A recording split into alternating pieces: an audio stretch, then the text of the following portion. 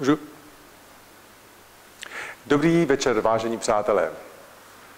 Včera mě oslovil Pepa, můj dlouholetý kamarád, a pozval mě na oslavu desetiletého výročí jeho svatby, svatby s Jiřkou.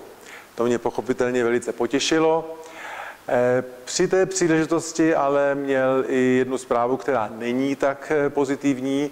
Žádal mě o pochopení, že nemůže nic dělat s obchodováním, protože proto nemá vlohy, neumí to, nikdy nic podobného nedělal a tak eh, se omluvil, že už prostě s obchodem končí, že už to nebude dál pokoušet.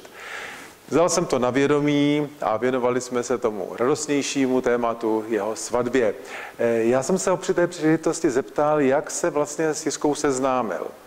V tom se mu rozářily oči a vyprávěl, já jsem byl vždycky na plnoštíhlé brunety. A protože jsem žádné nemohl eh, poznat nebo neznal jsem, tak jsem si udělal plán a začal jsem dávat inzeráty.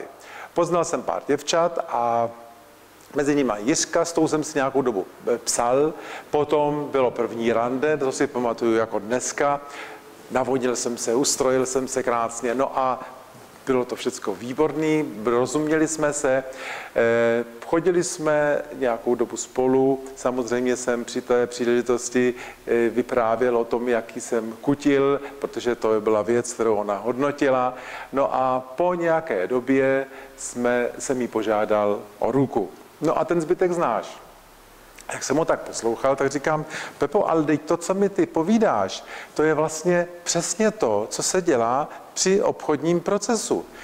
Ty jsi říkal brunetku plnoštíhlou. To znamená, ty jsi si vlastně zvolil cílovou skupinu. Potom si říkal, že si musel dávat inzeráty, čili ty jsi udělal plán a dával si inzeráty. No, budil si pozornost, dělal si dobré pocity, no a vyprávěl si o tom, jaký si kutil, to znamená, ty si nabídl tomu zákazníkovi, jakoby, nebo jiřce, užitnou hodnotu. No a na závěr si požádal o ruku, byl ten důraz na koncovku. A to, co jsi mě vlastně povídal, je úplně stejné jako obchodní proces, čili ty proto máš úplně dokonalou kvalifikaci. Pepo říkal, no takhle jsem to nikdy neviděl, ale něco na tom je. Víš co, já to zkusím a dám ti vědět. Takže já se teďka budu těšit, až mě Pepa dá zprávu. Děkuji vám za, na tomto místě za pozornost. Já už teďka pospíchám, neboť jsem koupil květinu pro svoji manželku, eh, protože v manželství to je podobné jako v obchodě. Nestačí jenom zákazníka získat, ale je potřeba o něj trvale pečovat. Děkuji za pozornost.